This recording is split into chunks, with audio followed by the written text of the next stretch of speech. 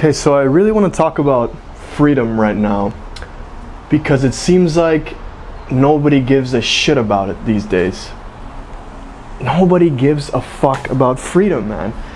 The only thing people care about these days is their career. They put everything on top of freedom. Everything, man. Money, careers, the way they look, the way people think about them.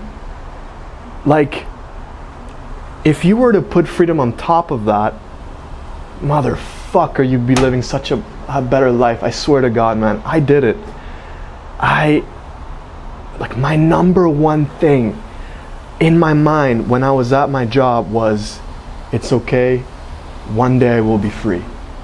And now I am much more free. I mean, there's always more freedom out there to go and grab.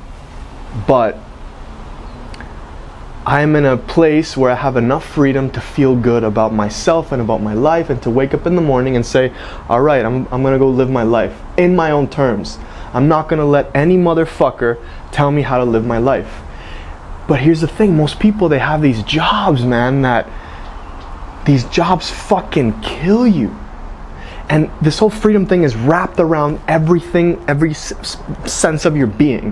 When I was at my job and I had no freedom, everything in my life was fucked because freedom is wrapped in everything. If you don't have freedom, you don't have a life, man.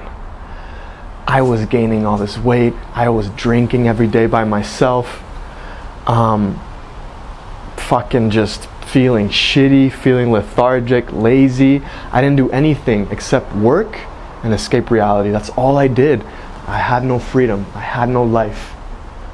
And everybody in Toronto and all over the place seemed to be really wanting to be in these fucking jobs and working these fucking jobs and losing all of their freedom with these jobs. I don't know what it is. They picture that the way they're gonna feel good in the future is when they get that one job that gives them that much money or gives them that much this or this or that. And I don't know, man. It seems like 80% of people that have corporate jobs are fucking completely miserable. I was talking to my Airbnb host. She was saying the same thing. She's just like, she's this like sweetheart black lady, and she's like, I try really hard at my job, but I feel these really horrible energy vibes. Um, my hair doesn't grow anymore. She has like a buzz cut basically, and she's like, my hair doesn't grow because of the stress of my job. I gained 40 pounds.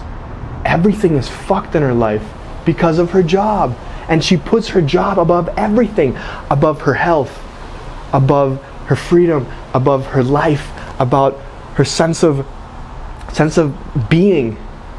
Everything is surpassed by these fucking careers these jobs what people are to think of me. Because i know it's scary like fuck i'm an uber driver. That's what i am. And guess what? I don't give a fuck because i'm free. And i put freedom on top of what people think of me and I swear to God, it's the best decision. Anyone who's watching this, please consider this. Who gives a fuck what you look like in front of other people? Who gives a fuck what any of that shit? The most important thing is what you're feeling inside because this whole life thing is just a like it's a video game, it's a simulation. And you're the only one feeling your own simulation. So you're the only one that fucking matters. I'm the only one that matters like what I'm feeling is the only thing that really matters. So why give a fuck about all these other things? You know? I don't know, I've just been thinking about this kind of thing a lot. So important, man. Freedom.